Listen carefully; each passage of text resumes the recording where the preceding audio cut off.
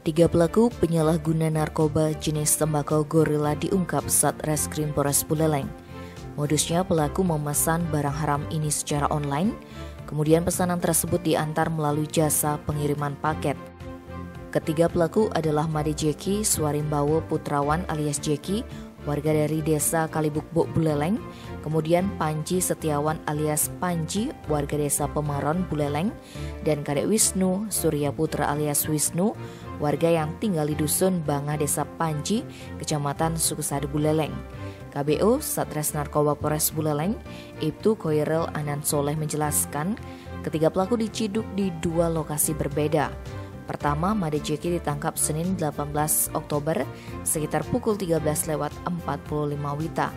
Kala itu polisi mendapatkan informasi bahwa ada pengiriman paket diduga narkotika melalui salah satu jasa pengiriman.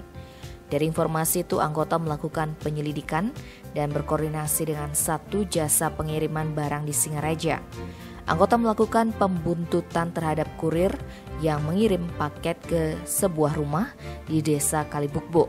Setelah paket diserahkan, anggota langsung mengamankan si penerima paket yakni Jeki. Dari penggeledahan di rumahnya ditemukan tiga plastik berisi tembakau gorila dengan berat total 14 gram. Setelah melakukan pengembangan selasa 19 Oktober, Petugas menangkap Panji Setiawan yang juga kedapatan mengambil paket tembakau gorila melalui jasa pengiriman paket.